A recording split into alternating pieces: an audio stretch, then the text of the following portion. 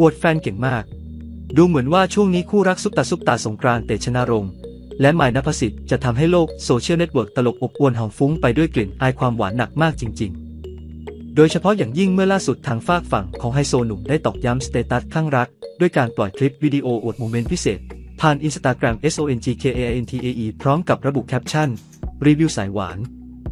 ซึ่งเจ้าตัวได้พาทุกคนไปดื่มด่ำบรรยากาศความสวยงามณโรงแรมหรู และเมนูของหวานแสนอร่อยแบบจัดเต็ม หลังแฟนสาวคนสวยเอ่ยปากอยากใช้เวลาในวันพักผ่อน ออกไปทานของอร่อยกับถ่ายรูปสวยๆ แต่ที่พิเศษไปกว่าคอนเทนต์ดีต่อใจที่สงกรานต์นำมาเสิร์ฟก็คงหนีไม่พ้นความน่ารักของเจ้าตัวยามได้อยู่กับมายด์แถมในช็อตเปิดคลิปหนุ่มสงกรานต์ก็ยังเอ่ยคำเรียกแทนชื่อหวานใจว่า เจ๊แถวบ้าน ยังทำเอาแฟนๆที่ได้ยินถึงกับเซอร์ไพรส์ให้กับความน่ารักนี้แบบสุดๆ ไปเลย